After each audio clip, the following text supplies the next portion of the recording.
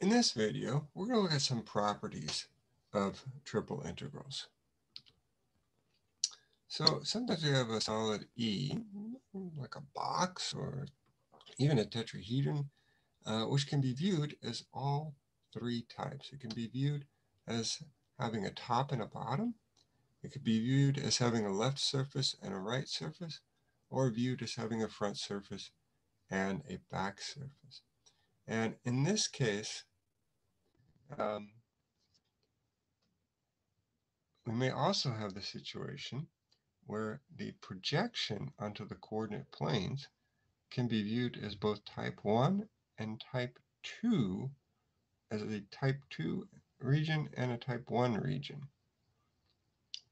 And so in this case, we're going to get six possible orders of integration. We may have uh, dx, then dy, then dz, dx, then dz, dy, because the region D is both type 1 and type 2. Uh, we could have dy, then dx, dz, dy, and then dz, dx. We could have dz, then dx, dy, and dz followed by dy, dx. So let's look at an example. Here, we don't know the integral. We're not asked to find the value of the integral. All we're asked to do is write an iterated integral in six different ways that could be used potentially to evaluate uh, this particular integral. E is going to be the solid, which is enclosed by the cylinder, y squared plus z squared equals 9, and the planes x equals negative 2 and x equals 2. So this is a closed cylinder and it's centered on the x-axis. So I didn't draw the uh, ends again to kind of keep the diagram a little bit clear, but it's capped off at the bottom and I mean the front and the rear. At x equals 2 and x equals negative 2, this cylinder is closed. But what I'm going to do is start off by thinking of this uh, solid as having a top surface which would be the half cylinder. z equals radical 9 minus y squared. And the bottom's half cylinder, which would be z equals negative 9 minus y squared. And so the projection then onto the xy plane is this yellow rectangle, which in the y direction goes from negative 3 to 3, and the x direction goes from negative 2 to 2. So my innermost integral would be uh, with respect to z, and its upper and lower bounds have to be my top surface and bottom surface. And now I have two choices, whether I'm going to have a dy dx for the double integral or dx dy. If I do dy dx, I mean, it is a rectangle, so I just have to make sure I match up my bounds and the dx matches with the x bounds. And then I could keep the same inner integral and reverse the bounds on the double integral. So now I'll go do dx dy and there's no thought involved here because the bounds are constants. I just make sure that they correspond. The second integral has to have bounds corresponding to x, and the outermost should correspond to y. All right, same solid. And now we want to think of it as having a left surface and a right surface. This is my right surface. This is my left surface. So the right surface is the half cylinder radical 9 minus z squared. And then the left surface would be the y equals negative radical 9 minus z squared. So yeah, when we go left and right, y is being bound by those surfaces. So y is going to be the innermost integral. Our projection then onto the uh, xz plane, again, is a rectangle. So we're going to have constant bounds.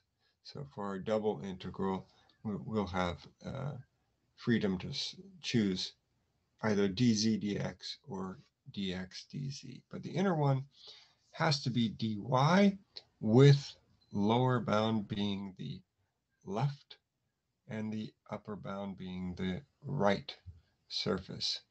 And then if I put dz in the middle, z is going between negative 3 and 3, so I have the corresponding bounds, and the bounds for x are from negative 2 to 2. So I can keep y as the inner integral, and just switch the outer bounds because they're constants, and remember to switch the bounds of uh, integration here when I change the order. So then the last pair would be to look at this cylinder as having a front surface and a back surface. So now I've gone ahead and tried to color in the front disk in yellow and the rear disk in orange. The front surface really is the plane, just x equals 2, and the rear surface is x equals negative 2. Now the projection onto the YZ plane is this circle uh, with the radius 3. And so I'm going to have to do more work with my double integral. I could think of this as being a type 1 region where I have a top semicircle and a bottom semicircle, or I could also think of it as having a right semicircle and a left semicircle. So my innermost integral with respect to x has constant bounds from negative 2 to positive 2. But now if I think of this as having a top semicircle and a bottom semicircle, that means I'd be solving, oh, this is not, I've solved for y, which means I must be thinking of this as having a right semicircle and a left semicircle. The right semicircle would be y equals 9 minus z squared, the radical of that. And the left semicircle would be y equals negative radical 9 minus z squared. And then my z values go from negative 3 to positive 3.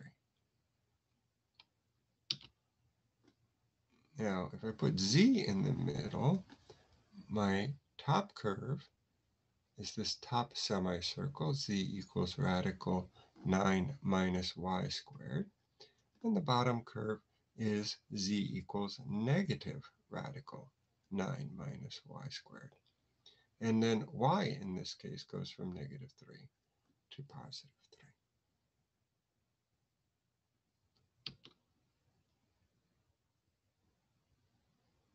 So let's find the, the volume of a solid. Just like if I put the integrand as a 1 with a double integral, I get the area of the domain of integration. If I put the integrand as 1 over a triple integral, I'm going to get the volume of that solid, which represents the domain of the of integration. So you really have to focus uh, with triple integrals because um, you get carried away with this idea of volume, but it's only true when the integrand is 1. Let's work out an example. Let's use a triple integral. You don't have to use a triple integral, but let's use a triple integral to find the volume of the solid enclosed by these two paraboloids. Now, these paraboloids are uh, centered on the y-axis. One opens upward and the other one opens, well, not downward. One opens to the right and the other one opens to the left. So you'll get this shape right here. We're going to try to find the volume of this using a triple integral. So our right surface is the paraboloid that opens to the left. And the left surface is the one that is has its vertex there at the origin. What will be our projection? Well, I need to find the equation where these two meet. So I'll set them equal to each other. So I'll have 8 minus x squared minus z squared equals x squared plus z squared. And do some algebra. And that tells me that I'll get this circle x squared plus z squared equals 4. And so my projection on the xz plane is just that disk. It's going to be a circle centered at the origin with radius 2. So to find the volume, I'm going to have my middle integral, or innermost integral, sorry, innermost integral uh, with respect to y, with lower and upper bounds being the left and right surfaces respectively. And here's a case where I want to, after I perform the antiderivative,